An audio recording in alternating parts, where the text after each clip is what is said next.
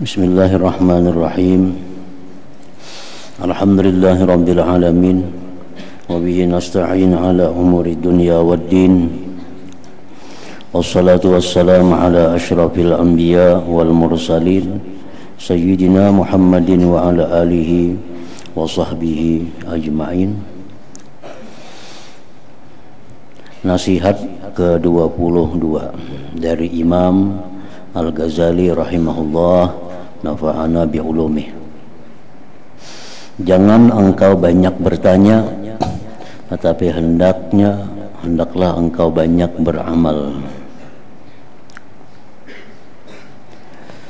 Wahai anakku yang tercinta apa yang masih tersisa daripada pertanyaanmu adalah telah tertulis jawabannya di dalam kitab-kitab karanganku. Maka carilah di sana. Dan menulis setengah daripadanya adalah haram karena ia adalah ilmu zauki.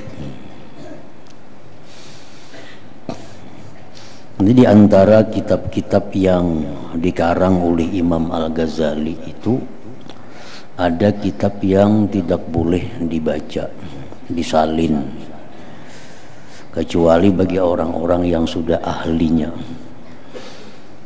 Seperti kitab Al-Madnun ala ghairi ahli judulnya. Al-Madnun ala ghairi ahli itu kitab yang berisi tentang ilmu zauqi Nah itu kada boleh membaca kitab itu mengajarkannya, belajarnya, menyalinnya kalau bukan ahli di dalam masalah itu.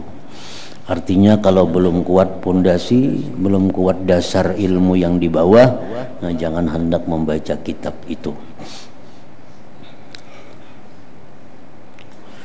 Dan beramallah dengan ilmu yang telah engkau ketahui supaya terbuka bagimu hijab terbuka bagimu dinding ilmu yang belum engkau ketahui. Artinya apa yang disuruh diamalkan amalkan. Jangan banyak tanya. Artinya apa ini gunanya? Tapi yang nyuruh ini mengamalkan ini apa faidahnya nah itu kada perlu ditanya. Bila disuruh mengamalkan itu amalkanlah itu. Jangan banyak bertanya karena dengan mengamalkan ilmu itu akan terbuka pendinding akan terbuka hijab. Ilmu-ilmu yang belum diketahuinya. Wahai anakku yang tercinta selepas hari ini janganlah engkau banyak bertanya kepadaku daripada segala kemuskilanmu kecuali hanya dengan lisan hatimu. Dan ini adalah berdasarkan firman Allah taala walau annahum sabaru hatta takhruja ilaihim lakana khairan lahum nah maksudnya seandainya mereka bersabar menunggu sehingga engkau wahai Muhammad keluar menghadapi mereka maka itu adalah sesungguhnya lebih baik bagi mereka. Jadi sahabat-sahabat itu dahulu kalau hendak berhilang ke rumah Nabi itu mengatuk lawang Nabi, nah, mengatuk. Lalu Allah menegur para sahabat itu. Jadi jar Tuhan, andai kata mereka sabar aja duduk aja di, di halaman Nabi sampai Nabi itu keluar, itu lebih baik bagi kamu, hmm, lebih baik. Nah, sama ilmu demikian pula. Ilmu yang belum kita ketahui, belum kita pahami, jangan langsung ditanyakan. Barangkali kita di hari-hari berikutnya ada keterangan guru yang menjelaskan tentang apa yang kita pertanyakan itu. Nah, lebih baik kita menunggu keterangan-keterangan yang diberikan guru daripada kita kada paham langsung bertanya. Misal ada keterangan uh, dari seorang guru, kita kadang ngerti, langsung bertakun, itu pahamannya kayak apa? Jangan dulu. Habiskan dulu pengajian itu. Barangkali kita ada di di bab mana nah, keterangan yang lebih luas tentang apa yang dijelaskan itu hmm, walau annahum sabaru hatta takhruja ilaihim lakana khairan lahum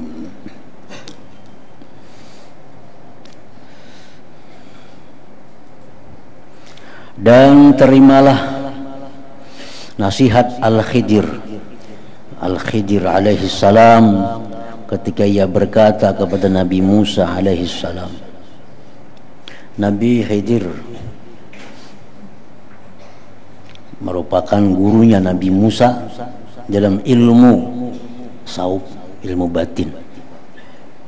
Ilmu batin Nabi Musa berguru dengan Nabi Khidir. Waktu Nabi Musa hendak belajar dengan Nabi Khidir ujar Nabi Khidir kamu kada sanggup belajar lawan aku. Kamu kada sabar. Lalu jar Musa insya Allah ulun sabar. Insya Allah ulun sanggup. Nah lalu belajarlah Nabi Musa dengan Nabiullah Khidir tadi apa jar Nabi Khidir? Fala tas'alni an syai'in. Engkau jangan bertanya akan aku tentang sesuatu. Hatta uhdisa laka minhu zikra. Maka janganlah engkau segera bertanya kepadaku tentang sesuatu sehingga sampai masanya aku akan memberitahu tentang hal itu kepada apa yang kukatakan apa yang kuperbuat ikam jangan bertanya karena ada saatnya aku menjelaskan itu ujar Nabi Khidir kepada Nabi Musa dan Nabi Musa siap menerima itu. Nabi Musa alim daripada Khidir kalau bidang ilmu lahir, ilmu syariah. Tapi kalau bidang ilmu batin, Nabi Khidir lebih dalam daripada Nabi Musa. Oleh karena itu Allah perintahkan Nabi Musa belajar ilmu batin kepada Nabiullah Khidir ini. di dalam ceritanya Musa dan Khidir berjalan di pesisir laut, di pesisir lautan. Ada kapal. Nah, jar Khidir, wahai Musa, kita umpat kapal itu. Disinggah kapal, ampun kapal tahu pada itu Nabi Khidir masuk dalam kapal. Nabi Musa pun dibawa dan gratis. Nah, kada berbayar jalanlah kapal tadi membawa penumpang di antaranya penumpang itu ada Nabi Musa dan Nabiullah Khidir di tengah perjalanan Nabi Khidir ini merusak kapal orang. Nah, kapal ini dirusak sih artinya di antara kepingan-kepingan papan itu ada yang dirusak oleh Nabi Khidir. Nah Nabi Musa ini kan sudah berjanji sabar kada hendak betakun betakun ay Nabi Khidir kita ini umpat sudah perai di sini. Kenapa dirusak pulang kapal orang nah makanya jadi sudah aku semalam. Bila aku umpat aku jam-jam betakun macam-macam. Karena ada jago kisahkan saatnya kenapa? Nah maka itu.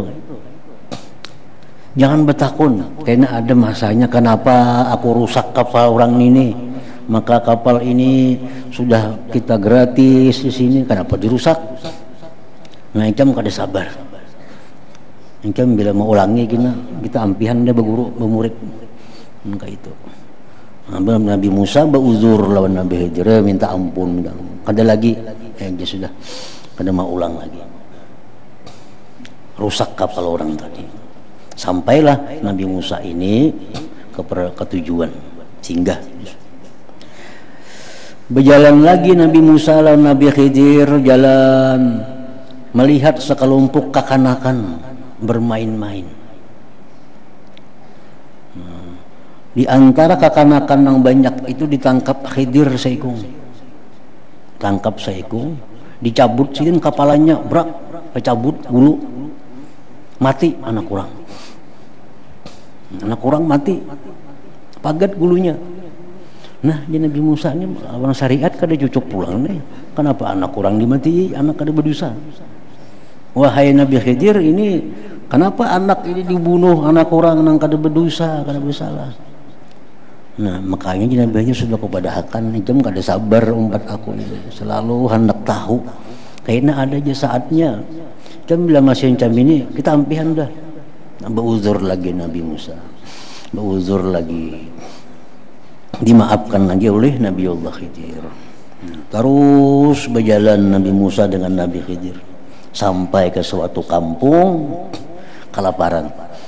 Musa kelaparan Nabi Khidir kelaparan hendak minta makan di kampung orang tua orang kadang mau memberi makan nih hmm, kadang mau memberi makan nih ayo eh orang kadang memberi makan. Jalan.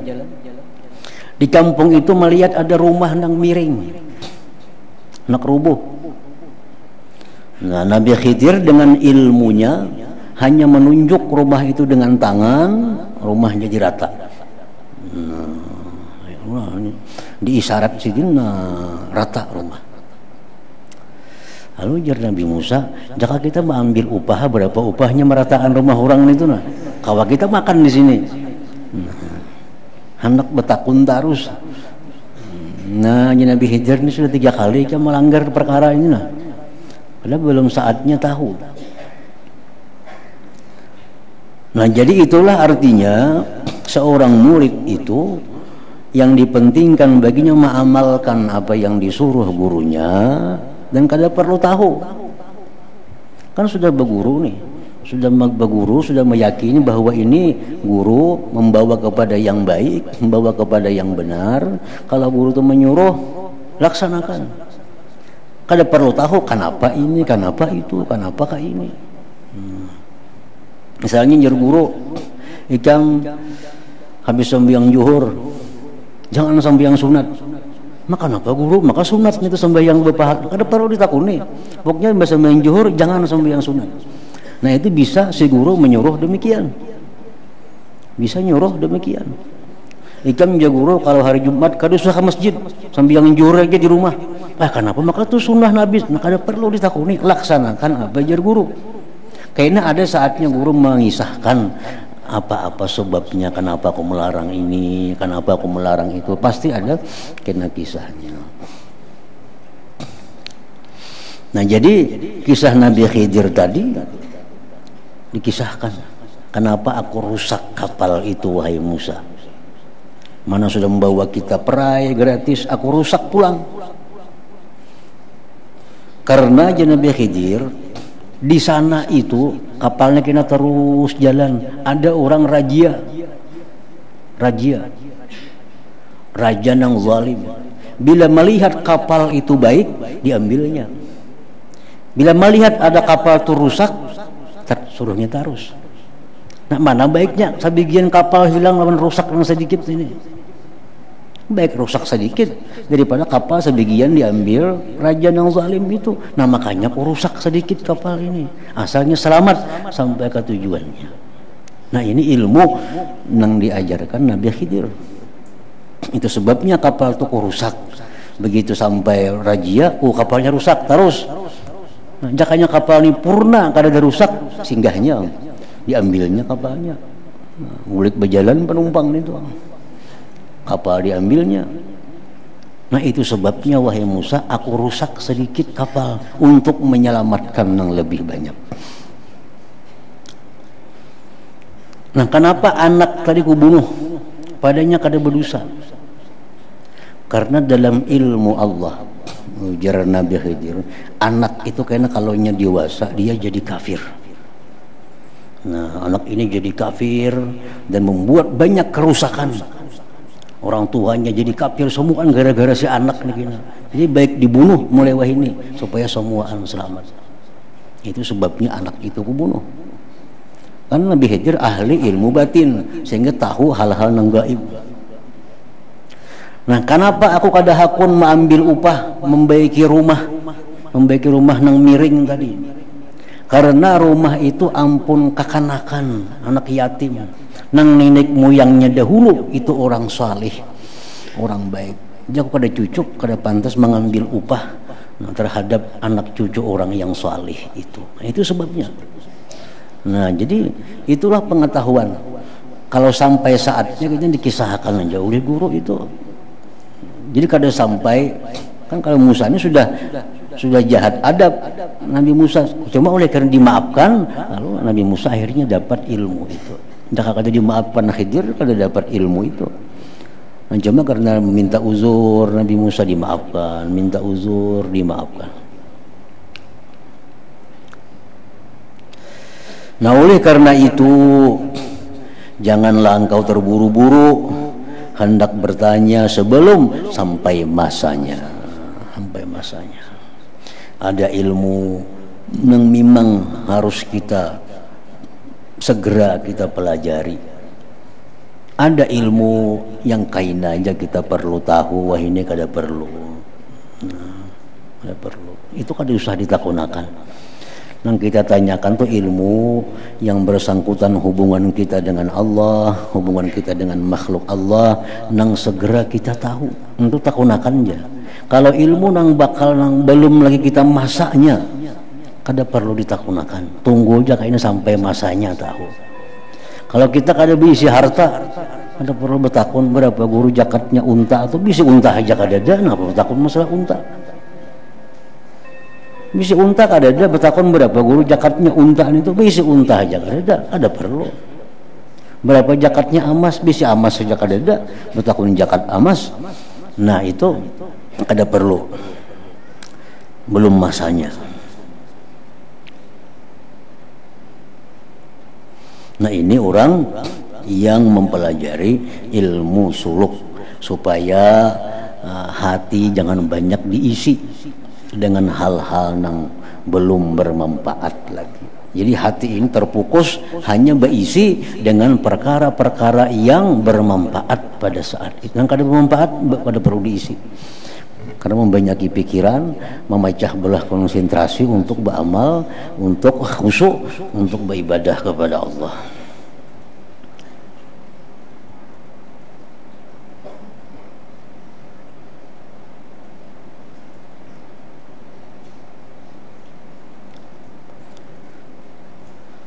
Dan apabila telah tiba masanya ketika itu akan tampaklah segala-galanya bagimu sampai saatnya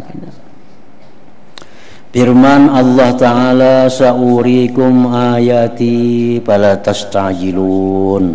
Maksudnya selagi akan aku perlihatkan akan kamu Akan tanda-tanda kebesaranku Maka jangan kamu terburu-buru. Mendesak aku menjadi Tuhan. Jangan terburu-buru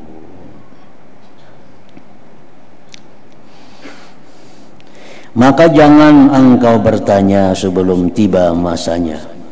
Dan yakinlah bahwasanya engkau tidak akan sampai ke penghujung jalan kecuali apabila engkau terus berjalan. Engkau tidak akan sampai ke penghujung jalan kecuali apabila engkau terus berjalan. Namun bermandak kada akan sampai. Kada akan sampai karena firman Allah Ta'ala awalam yasiru bil ardi fayanzuru Maksudnya apakah mereka tidak mau berjalan di atas muka bumi ini lalu mereka dapat melihat segala sesuatu untuk menjadi i'tibar.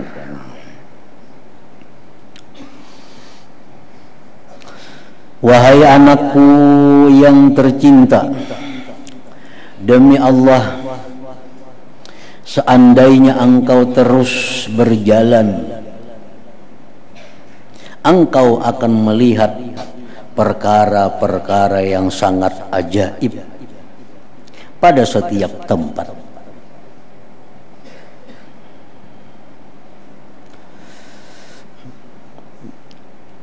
Andai kata engkau terus berjalan, engkau akan melihat perkara-perkara yang sangat ajaib pada setiap tempat. Karena setiap tempat itu ada mempunyai pemandangan-pemandangan yang diberikan Allah. Maksudnya setiap langkah ini kisah orang suluk pang setiap makam ngarannya yang kita lalui. Nah, setiap makam itu kita akan diberi oleh Allah sesuatu-sesuatu yang menakjubkan. Makam pertama bila kita lulus akan diberi Allah sesuatu hadiah Nah, makam yang kedua bila kita lulus diberi Allah lagi hadiah sampai kena ke sepuluh makam itu kita bisa lalui sampai kita kepada tujuan makrifat kepada Allah Subhanahu wa taala.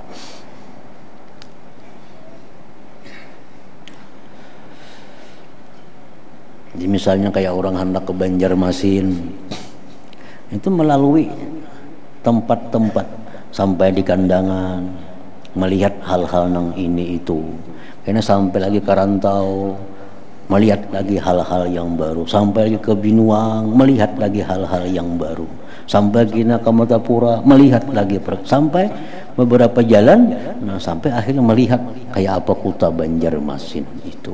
Maka itulah perjalanan seorang hamba untuk ma'rifatullah subhanahu wa ta'ala. Bila kada berjalan kada mau sampai artinya. Kada mau sampai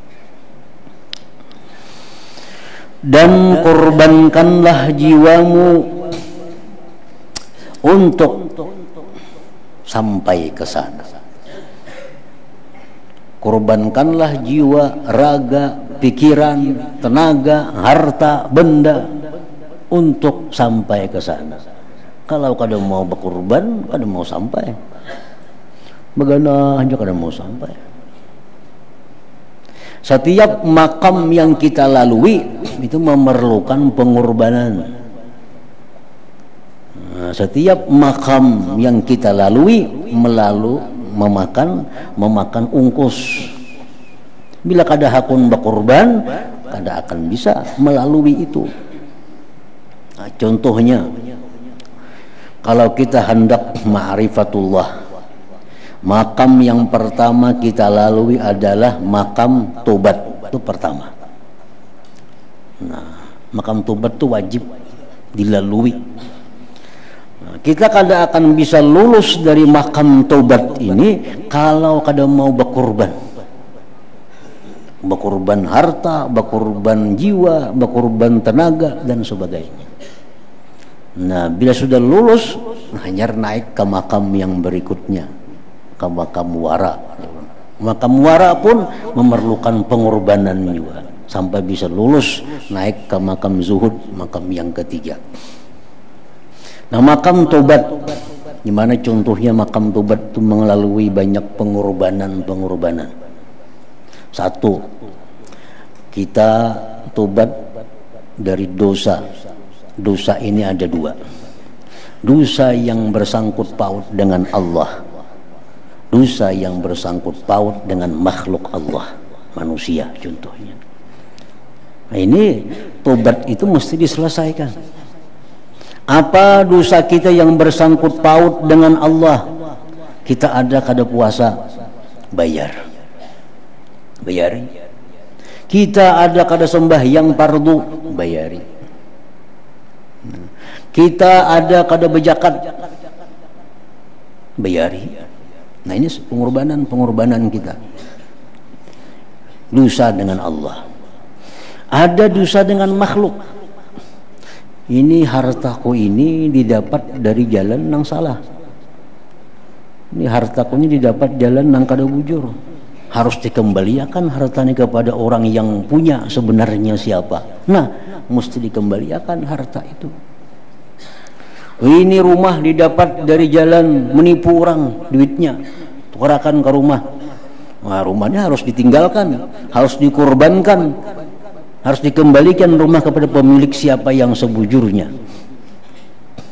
Nah, rumah ini didapat daripada harta riba, nah, mesti ditinggalkan. Jadi kadang mudah orang tubat, kadang mudah. Itu urusan harta. Belum lagi aku pernah menzalim, menyakiti si Pulan. Pulannya di mana? Dicari untuk meluluskan agar kita bisa halal.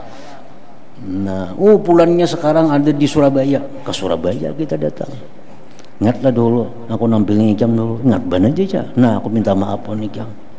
aku minta ridha minta halal pernah dulu menyakiti ikan Oh, pernah menghantam orang, sekarang orangnya ada di Sumatera, datangi ke Sumatera. Datangi. Minta halal, minta ridha. Dulu pernah aku menghantam ikan. Nah, itu itu maksudnya bahwa setiap tempat, setiap makam itu memerlukan pengorbanan. Bila kada hakun ke itu, kada mau jalan. Sampai mati kada mau tuntung tubat saja. Nah, jadi tubat ini harta sudah bersih nama pun orang pun sudah dikembalikan hmm, harta-harta yang kada halal sudah dibersihkan dosa-dosa dengan makhluk sudah didatangi sudah minta halal. Dosa lawan Allah sambil dibayar sambil dikala nah ini berarti sudah selesai dalam tobat ini. Hanya bisa naik ke jalan ke tempat yang berikutnya. Nah orang yang bujur-bujur tobat tadi dengan sebujur-bujurnya ini akan diberi Allah sesuatu hadiah.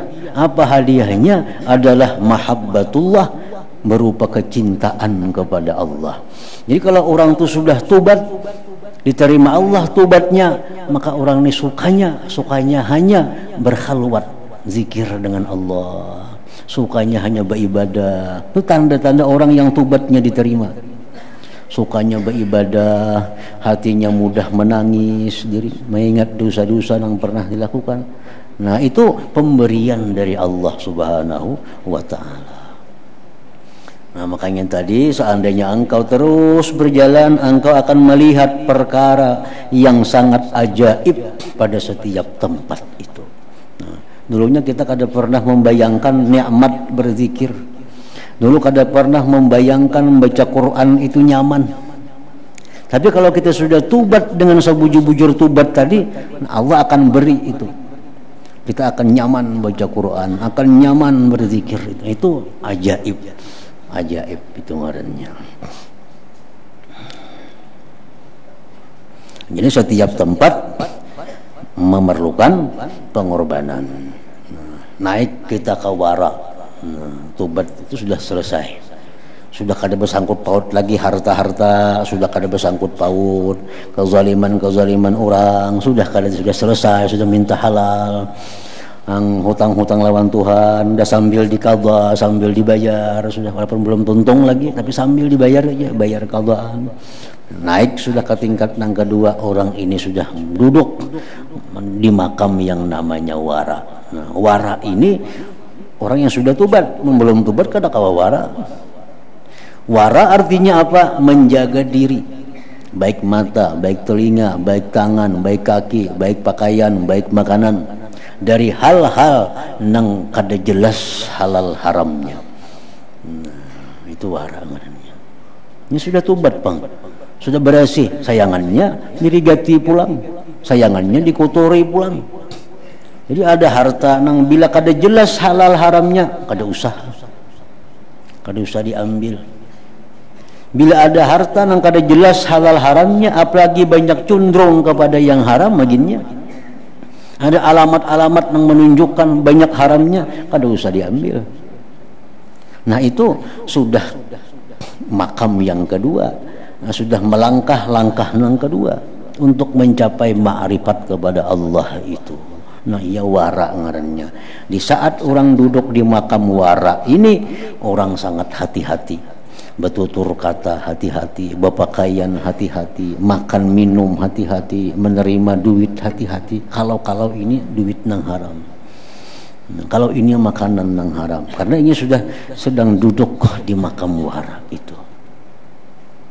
Nah lain dengan orang yang ma'rifat kepada Allah orang ma'rifat kepada Allah itu orang yang melihat ini duit halal ini duit haram itu sudah orang melihat dengan hakikat sesuatu. Jadi orang ma'rifat itu bisa bertentangan dengan orang wara. Karena orang wara ini orang yang mengambil sesuatu berdasarkan zahir. Sedangkan orang yang sudah ma'rifat itu mengambil sesuatu berdasarkan batinnya. Ada orang gawian perampok kalau si perampok ini hendak memberi duit lawan orang wara uh kada bani mengambil karena zahirnya orang ini merampok. Terkenal ada perampok. Di mana-mana orang tahu pada gawiannya merampok mencuntan. Ini orang warak oh kada wani ambil karena zahir menunjukkan ini kada baik. Nah sedangkan orang yang sudah ma'rifat dengan Allah diberi duit oleh si perampok ini ambil kenapa? Ini melihat ini bukan duit rampukan ini duit warisan abahnya. Nah ini melihat. Ini melihat. Jadi ambilnya duitnya. Karena batinnya melihat duit yang dikasihkan ini bukan duit rampukan. Ini duit dari warisan arwah abahnya misalnya. Atau duit hadiah dari siapa kepada ini. Itu yang diberiakannya lawan aku. Nah ini orang marifat melihat. Orang wara belum melihat lagi. Karena masih dalam kedudukan yang kedua. Untuk mencapai ma'rifatullah itu Nah jadi naik satu persatu kandangan, rantau, binuang, martapura, Banjarbaru hanya sampai ke Banjarmasin. Setiap tempat, setiap jalan itu memerlukan pengorbanan.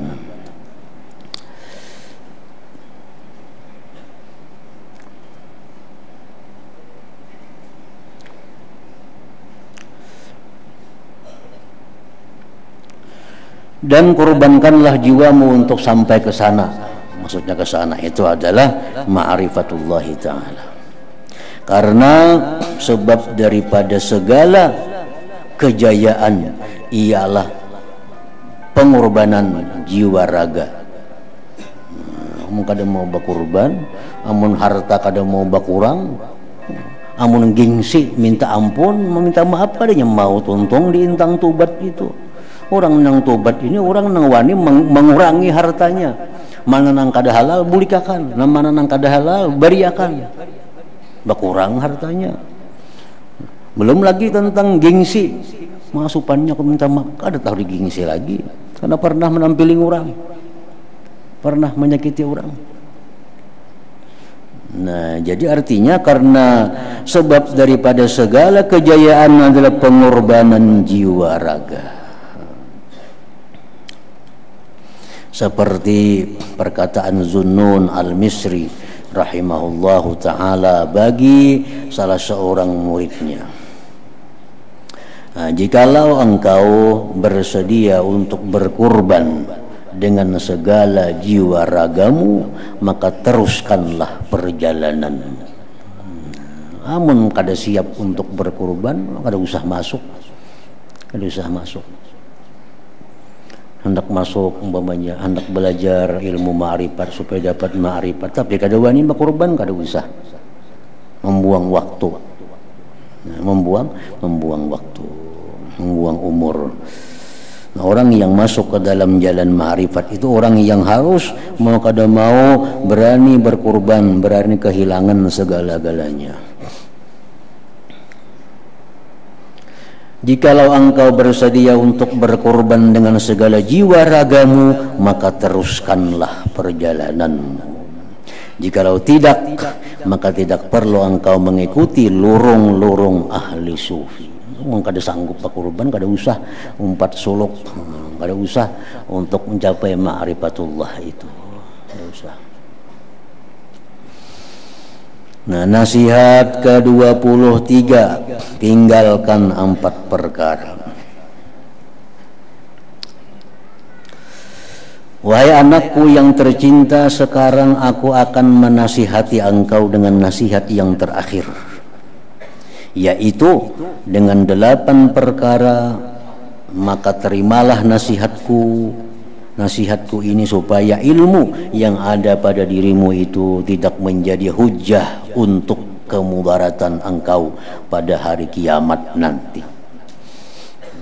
Ilmu ini bisa menjadi hujah menjadi pemberat kepada orang yang berilmu kapan ilmu itu menjadi beban menjadi pembawa keberatan kemudaratan?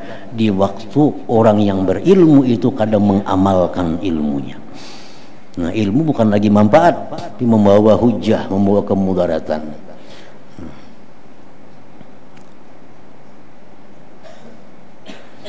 supaya ilmu yang ada pada diri itu pada dirimu itu tidak menjadi hujah untuk kemudaratan engkau pada hari kiamat nanti.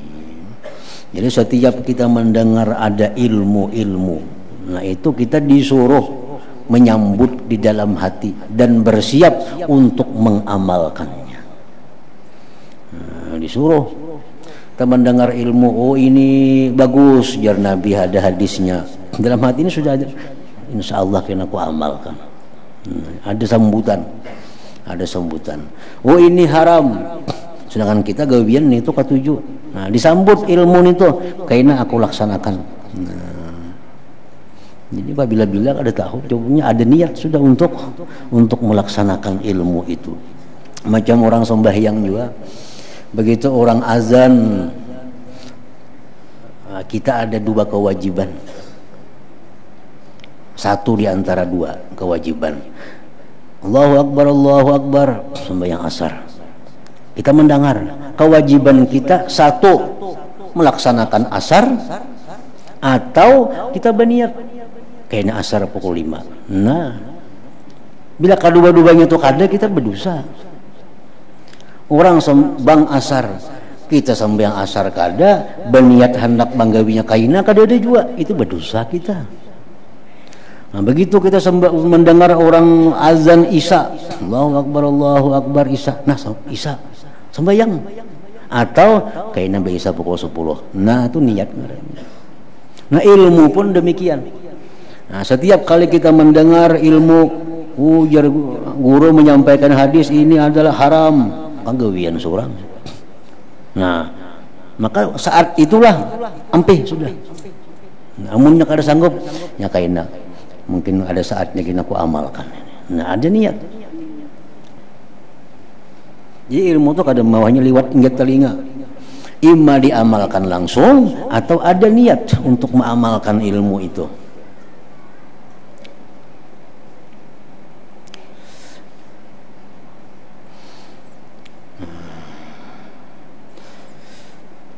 Delapan perkara ini terbagi kepada dua. Empat perkara mesti engkau tinggalkan Dan empat perkara lagi mesti engkau laksanakan. Adapun empat perkara yang mesti engkau tinggalkan Maka yaitu Perkara pertama Janganlah engkau bertengkar. Artinya berdebat. Maksud bertengkar ini berdebat.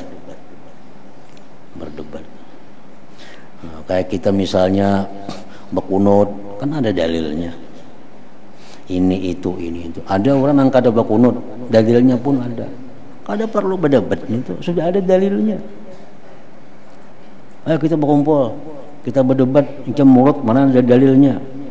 Kami nang kada maulid, ini ini dalilnya. Kada perlu berdebat itu. Masing-masing ada dalil dan sama-sama dari ulama nang menyuruh mulut dari aula daripada ulama juga. Baik maulid itu ini baik maulid itu dari ulama. Nang melarang mulut itu ulama juga bukan nabi. Nabi kan ada hadisnya jangan maulid kan ada. Dari ulama juga mempaham hadis nabi. Nang menyuruh maulid pun ulama mempaham dari hadis nabi juga. Bila kita berdebat itu merusak ilmu. Kan usah diperdebatkan. Gawi-gawi kadang-kadang sama-sama jar ulama kadang-kadang jar nabinya. Nah, jadi sama mempaham mempaham. Maulid kada baik kada boleh. Ini hadisnya. Bukan itu, itu pahamannya hadis kayak itu. Si ulama ini mempaham. Mun secara jelas hadisnya kada ada kayak itu. Kada ada. Jangan maulid kada boleh. Kada ada hadis nabi. Cari dak kitab hadis ada ada kayak itu Nah, cuma ada hadis macam ini, nah itu pahamannya jar para ulama, jangan kita maulid. Ulama yang menyimpulkan. Baik mengadakan maulid itu ulama juga yang menyimpulkan. Kalau ada yang dari Nabi. Oh berdebat kan ada gunanya. Kalau panang kalah bakal ampih kan ada harapan.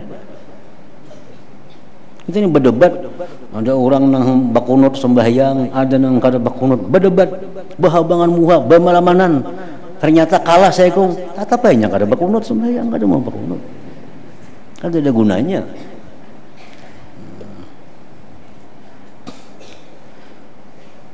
Nah, janganlah engkau bertengkar berdebat. Lain berdebat dengan orang-orang kafir. Nah, itu ayo. Orang-orang nang musyrik orang-orang yang menyekutukan Allah nyembah berhala nyembah patung. Nah kita berdebat supaya nyembah Islam supaya dapat hidayah dari Allah. Nah itu bagus. Berdebat antar bubuan kita kalau ada gunanya. Membuang waktu. Dan lagi menimbulkan hal-hal yang kada bagus. Janganlah engkau bertengkar berdebat dengan seseorang pada apa jua masalah karena pertengkaran itu mengandungi bermacam-macam penyakit.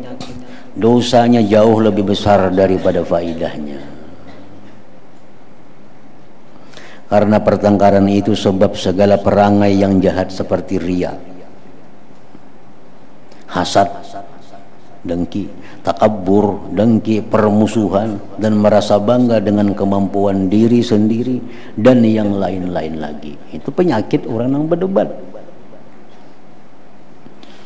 Nah, jikalau engkau pada suatu hari terhirit kepada pertengkaran antara engkau dengan orang lain atau dengan sekumpulan orang dan adalah niat yang ada di hatimu untuk menzahirkan kebenaran supaya kebenaran itu tidak hilang, maka bolehlah engkau berbuat demikian. Nah, ini ada kelompok nang kada bersembahyangan ini sudah nyata. Kada ada ulama yang memuliakan orang kada sembahyang itu kada ada ulama yang merayakan sembahyang itu kada ada ulama. Mulai zaman Nabi sampai hari kiamat bila orang tuh bagaler masuk ulama kada ada yang mengajarkan kada bersembahyangan ada ada kalau itu ulama. Karena ulama ini warasatul ambia ulama itu pewaris para nabi. Nabi sembahyang ulama sembahyang juga. Kalau ada mengajarkan gak ada bersembahyangan tuh ada ulama. Ada ulama. Nah ini ada ajaran yang ada bersembahyangan nah ayo aja berdebat kita. Tapi niat hanya untuk menampakkan kebenaran. Menampakkan kebenaran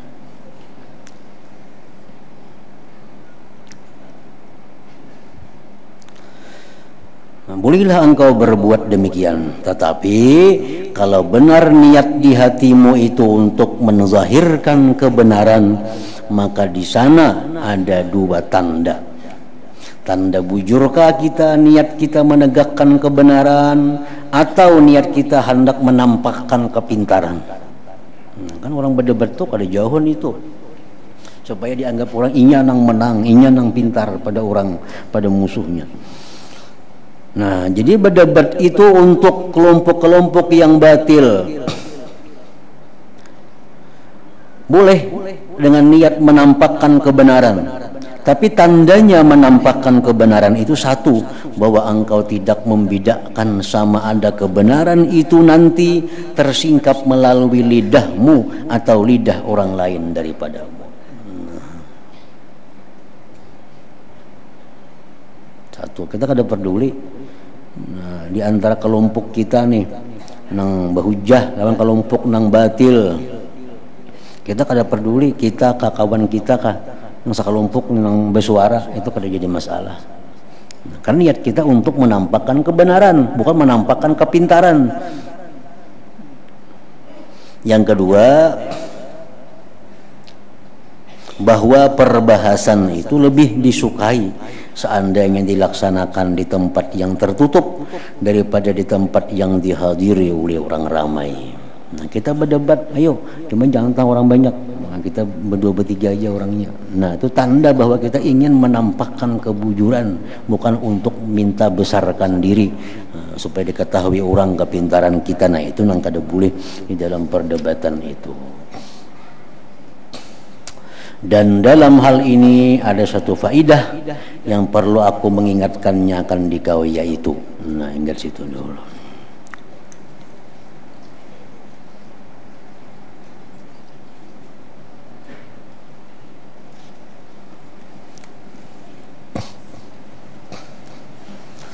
ضل ذكري فاعلم أنه لا إله إلا الله محمد رسول الله لا إله إلا الله محمد رسول الله. لا إله إلا الله محمد رسول الله. لا